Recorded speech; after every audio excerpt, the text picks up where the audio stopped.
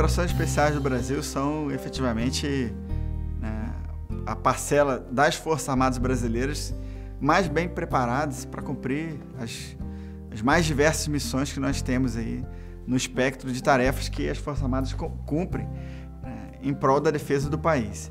E eu tive a grata ventura, né, a sorte e a satisfação, a honra de trabalhar nas operações especiais do Exército por mais de, de 10 anos, se nós considerarmos aí que eu fiz o curso de comandos, concluí em 2002 e, e fiquei praticamente o tempo inteiro nas operações especiais, só saindo para a Escola de Comando Estado-Maior do Exército em 2012 e saí para os cursos de carreira e para as missões exterior, no exterior.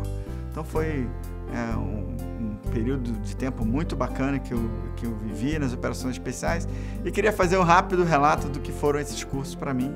Tenho certeza que são né, alvo de muita curiosidade para todos aí, né, quando se fala de curso de ações de comando e de cursos de forças especiais de modo geral. Eu comecei fazendo os cursos operacionais no Exército pelo curso de Guerra na Selva.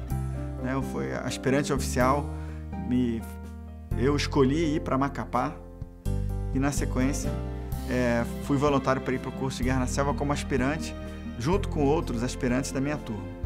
É, infelizmente, no, na última semana do curso, talvez por imaturidade minha, era um garoto praticamente de 22 anos, eu fui desligado do curso, faltando poucos dias. Né? E aquele momento foi um momento de muita turbulência para mim, profissional. Né? Eu era o primeiro colocado da AMAN, desligado de um curso de combate, eu, né, da arma de infantaria, que é a arma mais guerreira. Né? Eu fiquei realmente desnorteado, mas né, apoiado na minha família, mantive os ideais e, e prossegui para o próximo objetivo. Quis fazer o curso de Guerra na Selva no ano seguinte, mas não tive é, a vaga garantida e comecei a me preparar para o próximo objetivo, que era o curso de ações de comandos. Comecei a me preparar a fazer marcha, natação, lutas e em 2001 eu me matriculei no curso de comandos e, bom, vivi as primeiras fases do curso, as primeiras semanas e no teste de lutas eu sofri um acidente, né, bati com o rosto numa mesa e em função disso é, eu pedi o desligamento do curso de comandos. Bom, então eu era naquele momento um, um primeiro tenente do Exército Brasileiro, primeiro colocado de turma, da arma de infantaria, mas no pior dos mundos, né? Tava desligado do curso de guerra na selva e pedi desligamento do curso de comandos. Poderia ter feito diversas coisas, inclusive fazer concurso para o Instituto Militar de Engenharia, voltando àquela ideia inicial do, do meu pai de seguir para a área é, técnica, ou podia não desistir e prosseguir. E foi esse o caminho que eu decidi adotar. Eu, sem falar nada com ninguém, nem com meu irmão, que já era comando, forças especiais, nem com meus pais, voltei a treinar, mandei o requerimento, praticamente só sabendo, só quem sabia era o meu comandante. E em 2002 eu voltei para fazer o curso de comandos.